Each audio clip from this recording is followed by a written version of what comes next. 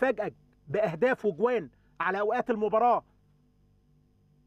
المختلفة تمريرة أمامية ممكن خطيرة خطيرة ممكن الجول ممكن الجول جول جول جول. علي عمرو في الدقيقة العاشرة واحد صفر للنادي الأهلي. لسه بقول لحضراتكم القدرات الهجومية للرباعي الأمامي ويروح علي عمرو بعد ما ضغط كويس قوي. أحمد سيد غريب هنشوف الجون والحكاية من أولها الدقيقة العاشرة آدي الكابتن خالد بيبو مدير قطاع الناشئين في النادي الأهلي وتحية كده لأحمد سيد غريب. إنما أدي اللعبة والحكاية من أولها التمريرة الأمامية لهاني عمرو اللي بيلغي بيها كل مراحل التحضير وتعدي وتروح. كمل بقى معانا كده الكادر. أدي أحمد سيد غريب هو اللي نكشها يا ولد يا لعيب. أحمد سيد غريب هو وهاني عمرو مع علي عمرو ثلاثي أضواء ال 18 في الجون اللي فات. اتعملت أمامية من هاني عمرو.